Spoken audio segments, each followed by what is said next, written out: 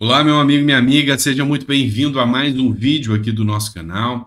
Hoje a gente traz informações importantíssimas. Você lembra do caso do Phillips? Pois é, ele chegou ao desfecho final e Bolsonaro tinha sido acusado de ser o responsável pela morte de Dom Phillips. Mas as investigações foram concluídas. Eu vou te mostrar o que realmente aconteceu aqui. Eu vou falar com vocês também sobre um dos pontos mais importantes da política brasileira hoje eleição para o Senado. A gente vai falar um pouco mais sobre isso aqui. Isso e muito mais coisas aqui no nosso canal. Só para você se situar, hoje é dia 24 de janeiro, tá? Esse é o nosso terceiro vídeo do dia, o vídeo das 4 horas da tarde. E a gente vai tentar ser o mais rápido e o mais sucinto aqui. Combinado? Vamos lá. Deixa eu só lembrar o caso do Dom Felipe, para você já entrar na matéria aqui entendendo. Dom Felipe é um jornalista que veio ao Brasil e fazia reportagens sobre o garimpo lá na, lá na Amazônia. Ele e o seu guia foram assassinados e os corpos foram encontrados depois. O que, que eu vou fazer aqui com você? Uma análise sobre o Tribunal da Mídia. Como assim Tribunal da Mídia?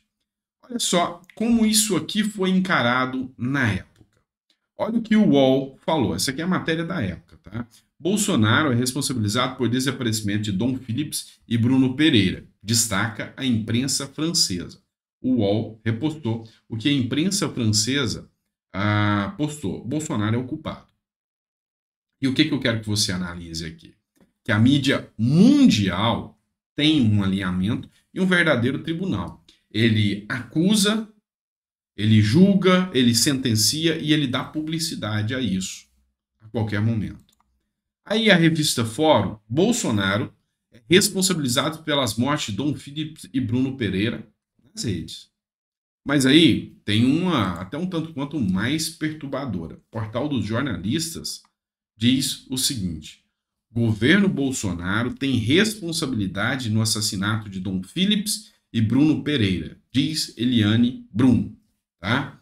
Então, a, a Eliane Brum é uma premiada jornalista, tá? Só que ontem a resposta saiu, tá? O PE, a Polícia Federal concluiu que traficantes da Colômbia foram os mandantes de assassinato de Bruno Pereira e Dom Phillips. Você está vendo reverberar na mídia da forma que reverberou a época que acusavam Bolsonaro e, Dom e Bolsonaro e o seu governo pelo assassinato do Dom Phillips? Você está vendo mais de um mês de mídia maçante, detonando. Ou talvez ali um ou outro é, matéria simples sobre o tema. Pois é. É assim que o poder da mídia tem sobre as pessoas, sobre a opinião pública, sobre como eles definem quem é bom ou quem é mal. Vocês conseguem entender? E é por isso que você, meu caro ouvinte, eu peço a você comece a estudar um pouco mais o que você vê na mídia. Filtre a situação. Quando você vê uma matéria como essa que diz que Bolsonaro é o responsável, ou que o Lula é responsável, se averigue e olhe. Tem um inquérito? Foi apurado? Teve um devido processo legal? A polícia concluiu o inquérito, então talvez seja só mais uma mentira falaciosa da mídia. Mesmo contra Lula ou mesmo contra Bolsonaro. Você tem que ser a balança de precisão que vai filtrar o que é certo e o que é errado. Não deixe que a mídia analise para você o que é certo ou errado. Você é quem tem que ser responsável por filtrar e pesquisar cada matéria e seguindo canais sérios como, como o nosso aqui, que tem coragem de dizer a realidade para vocês, sem estar tá buscando só a visibilidade que a mídia busca e sem ideologia partidária que a mídia tem. Vamos lá. Bora para o próximo tema aqui para o vídeo não ficar longo. Vamos lá. Partidos com ministérios no governo Lula representam 51% da Câmara dos Deputados. Vem cá. Você tem que entender que durante a gestão Bolsonaro, durante o governo Bolsonaro, existiam 22 ministérios. Agora, Lula já entrou subindo para 37 ministérios, ou seja, um aumento significativo. Isso aqui não é à toa, mas quem vai pagar é você e eu.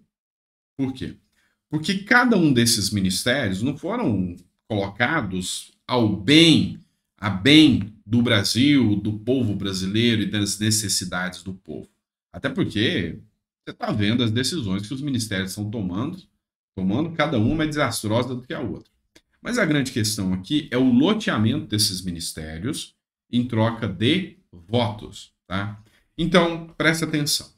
Agora, o governo Lula vai enfrentar a maior dificuldade que qualquer governo do Brasil já enfrentou. Ele tem a maior oposição de todos os tempos ao seu governo no Congresso Nacional. Quem escolheu isso? O povo brasileiro que votou assim. E o que, que Lula fez? Aumentou os ministérios. E hoje, se os partidos votarem em troca dos ministérios, Lula consegue 51% dos votos. Então, as ações ordinárias, ações simples, os projetos de lei simples, Lula consegue aprovar com base na pressão dos ministérios. Ou seja, eu tenho 51% dos ministérios. Se o seu partido não votar comigo, eu te tiro dos ministérios. Tá dando para você entender como funciona a regra do jogo? Então, assim, essa é a arma que Lula tem, que são os ministérios, para fazer aqui uma espécie de compra de votos a favor das pautas, que são interesses do governo Lula. Cabe agora o cidadão que votou naquele parlamentar para que ele, independentemente de partido, vote como o cidadão cobra. Afinal, vamos lembrar de uma coisa: parlamentar, político, não é celebridade, é funcionário do povo. E cabe a você, eleitor, cobrar da, menor, da melhor forma possível. Então, se você não concorda com aquele tipo de voto, fiscalize. Você tem quatro anos para fiscalizar. E se você não gostar do que você viu, você não renova o contrato dele daqui a quatro anos. É simples assim. E aqui a gente vai para outro ponto importantíssimo: a disputa para a presidência do Senado. É o que a gente chama de terceiro turno das eleições. Por quê? Porque o presidente do Senado é quem tem poder para colocar os impeachments do STF em andamento. A gente já começa o ano com dois pedidos. Um grupo de advogados já fez o pedido uh, de um impeachment de Alexandre de Moraes por violações ao Estado Democrático de Direito. Um outro empresário também fez outro pedido também com base no mesmo argumento: violações ao Estado Democrático de Direito. Pois é, mas quem vai tocar isso para frente ou não é o Rodrigo Pacheco. Aí você pode me perguntar, mas Sandro, se o Pacheco tocar esse processo e o Alexandre de Moraes ou qualquer outro ministro do STF realmente for retirado, Lula vai nomear outro. E não dá na mesma? Não. Porque a partir do momento que há uma ruptura e eles colocam uh, um ministro na parede, eles ficam com medo de ser o próximo da fila. Afinal, ninguém quer perder o cargo. Ninguém quer perder a sua situação ali. Então, seria uma barreira para frear algumas ações que são questionáveis do STF. Eu até vou recomendar a vocês, não sou muito de fazer isso, mas assistam um trecho do Cortes do Flow. Flow Podcast é um, é um, um, programa que tem aqui no YouTube, muito interessante, onde o Igor tá, uh, fala sobre essa situação do Alexandre de Moraes e do Monark. Achei interessante demais. Tá? Então seria um contrapeso. A disputa para a presidência do Senado inclui negociações de vagas nas comissões. Eu quis fazer um paralelo para você entender. Você viu que, presta atenção, que os ministérios são moedas de troca de Lula para conseguir a votação dos deputados. Pois bem, no Senado, as comissões são as moedas de troca para conseguir a presidência do Senado. Hoje, nós temos o Rodrigo Pacheco e o Rogério Marinho é, disputando a, as vagas para presidente do Senado. Também tem é, outros nomes, mas esses são os dois nomes de maior peso, tá? São os dois nomes de maior peso. E aqui a troca é promessa de cargo nas comissões. Você está vendo que trocam-se as calças, mas o bumbum continua o mesmo? Essa é a realidade, tá? Então, aquele que prometer mais vai conseguir. Ah, tem um movimento, tá? Cabeçado até pelo Gustavo Gaia, que é para pressionar o pessoal a votar contra Pacheco, para que não continue mais o mesmo. Votar no Pacheco é alinhar com Lula, segundo ele, tá? Então ele contraria isso aí, tá? Só que aqui na briga, alguns partidos já estão declarando apoio total. Por exemplo, o PDT confirma que todos os senadores vão dar apoio à reeleição de Rodrigo Pacheco, tá? Vão dar apoio à reeleição do Rodrigo Pacheco para o Senado, tá? Então isso aí é importante é, a análise de como vai ficar o Senado daqui para frente. Muita gente não dá atenção para isso, tá? Mas vocês vão ver que isso aqui é de uma importância extrema para quem quer entender um pouco mais de política, saber o quanto o poder do presidente do Senado e do presidente da Câmara é, são importantes. Você não sabe, talvez, mas esses dois aqui têm poder para neutralizar o STF e o Lula, tá? E o presidente. O Pacheco neutraliza o STF, o Lira neutraliza o Lula.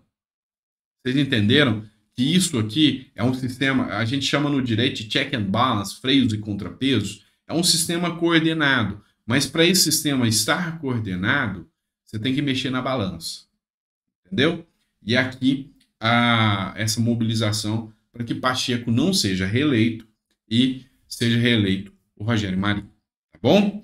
Ficou até o final do vídeo? Coloca no comentário que ficou até o final do vídeo. Isso é importante para mim, tá? É muito importante o seu feedback para a gente poder estar tá colocando aqui, uh, sabe, os temas que realmente são relevantes para você entender um pouco mais sobre política, ok? Então, te agradeço desde já, muito obrigado e até o próximo vídeo. A gente volta às 7 horas da noite para trazer mais conteúdo para você.